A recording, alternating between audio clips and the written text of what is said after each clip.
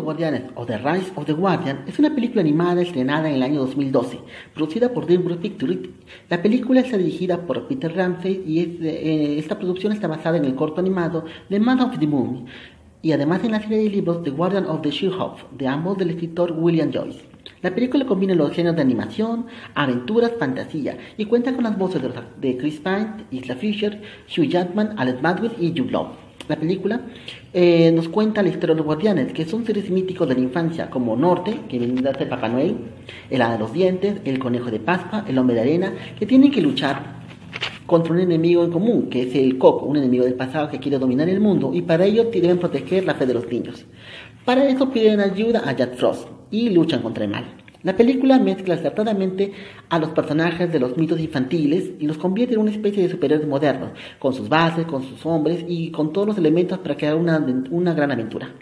Como, como, también tiene una gran animación y una historia que es tierna, entretenida y mezcla adecuadamente los tópicos y elementos del cine de superhéroes y el cine infantil. Lo que más me gustó, fue lo que dije, fue la historia. Nos muestra una historia tierna, con valores, pero al mismo tiempo entretenida nos, nos, dejan, nos entender que los guardianes son los encargados de proteger la fe de los niños y cada uno de ellos posee dones y habilidades. Aquí podemos dar guiños al cine de superhéroes, donde eh, ellos deben vencer a un villano que quiere dominar el mundo, y además tenemos especie del antihéroe, que tienen que recurrir a un, a un héroe, un joven que no quiere aceptar su, su, destino, pero al final este lo acepta y logra vencer al villano. En este, en este caso tenemos el personaje de Jack Frost. Ahora, lo que me gustó fue esto que se alimentaran de la fe de los niños, que la fe de los niños fue el arma importante para ellos. No tenemos armas, ni poderes mágicos, ni nada. Solamente tenemos que eh, los elige el hombre de la luna y que se alimentan, bueno, porque su principal fuente de poder es la fe de los niños. Y esto me gustó mucho quieren dar, eh, darle la, la, motivación de que el niño crea, de que el niño eh, fortalezca su, imaginación y al mismo tiempo cree en algo. Y este algo siempre es, un, es una historia, una historia que les da fuerza para seguir adelante. Ahora, eh, lo que me gustó también fue la historia que es una historia lineal, pero al mismo tiempo nos da algunos flashbacks de lo que podemos comprender la historia y conocer a algunos personajes, más que todo el personaje de Jack Frost, la, el, que es el héroe de la película. Aunque la película se llama El origen de los guardianes, es Jack Frost, que es uno, de es uno de los protagonistas, el que destaca un poco más, ya sea por su historia, porque nos muestran cómo él era un ser humano común y corriente, hasta el de cómo, cómo fallece tratando de proteger a su hermana, cómo obtiene los poderes, cómo olvida su, su, su, vida pasada y cómo él viaja por todo el mundo, aunque nadie le hace caso y que nadie lo comprende. Él trata, como dicen, de buscar divertirse y que, que la gente vea el mundo como los ojos de un niño. Y eso me gustó bastante. Además también que su diseño fue muy bueno, era un personaje valiente, confiable y hacía todo por proteger a los suyos. La historia de su origen fue interesante, nos, nos damos cuenta cómo él se inició y también podemos tener un poquito de empatía porque él murió por salvar a una persona y eso es importante y eso fue lo, lo que lo convirtió en un guardián. Además, el diseño del personaje es agradable y es adecuado para sus poderes. En fin, Jack Frost es un personaje que aporta una, una buena parte de la esencia de la historia y también la soporta. Además también tenemos que él, su poder más importante es ver los ojos con los ojos de un niño, es ver la vida con los ojos de un niño. Y esta es pieza fundamental para resolver el conflicto final, cuando tienen que pelear contra el villano.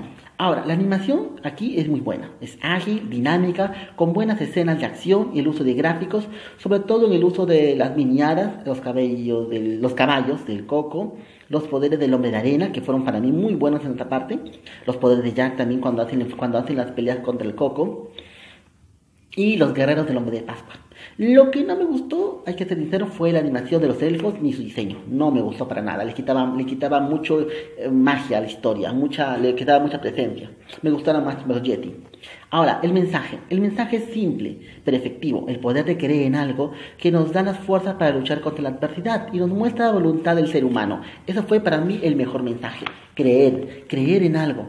Lo que no me gustó, hay que ser sinceros, lo que no me gustó de esta película fue que a pesar que tenía una buena animación y tenía un buen en algunos personajes, en otras falló. Por ejemplo, el personaje de Norte no me gustó, no sé qué, qué habrán pensado, parecía una mezcla entre pirata tatuado, ruso y al mismo tiempo como si fuera un cosaco por el sombrero, eh, no sabía qué era en realidad. Y no, no se parecía nada al personaje de Papá Noel, hay que ser sincero, no lo veía nada, no lo veía, veía y no veía Papá Noel.